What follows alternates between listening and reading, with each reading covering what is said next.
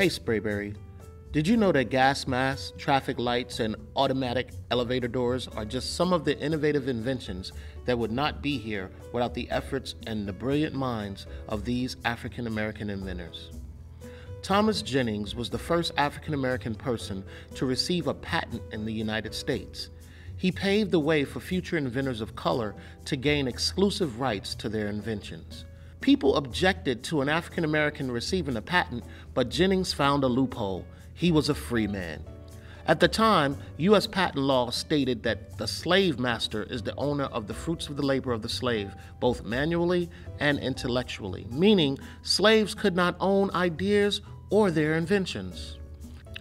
Born Sarah Breedlove in 1867, Madam C.J. Walker is often referred to as the first self made African American female millionaire.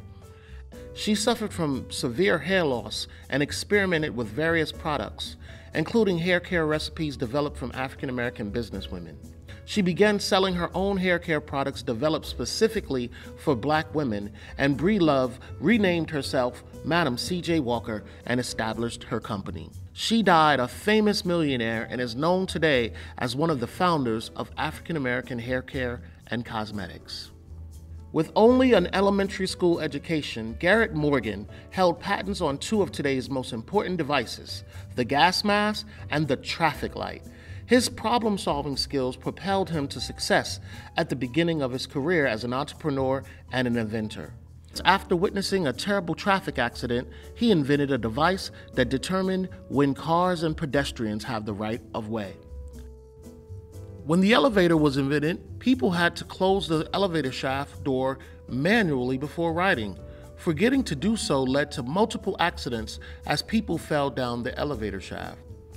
When the daughter of a famous inventor, Alexander Miles, almost fatally fell down the shaft, he took it upon himself to create a solution, and in 1897, he took out a patent for a mechanism that automatically opened and closed elevator doors, and his, and his design is reflected in elevators used today. Alfred L. Cralle was born in 1866 in Virginia shortly after the end of the American Civil War.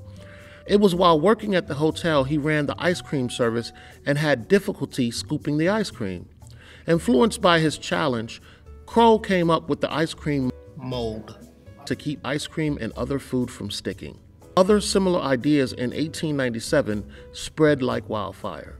Unfortunately, Cralle's name is rarely associated with the device, which began popping up across the United States.